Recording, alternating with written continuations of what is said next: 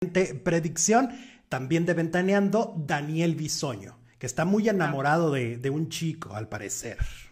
Ok. Vamos a ver qué nos dice. Sí, no, sí, ¿eh? Enamorado y comprometido. Fíjate que eh, Bisoño se le abren puertas, eh, no sé si es en el extranjero, o va a tener él un programa o un podcast, algo él solito, que se va a proyectar hacia el extranjero.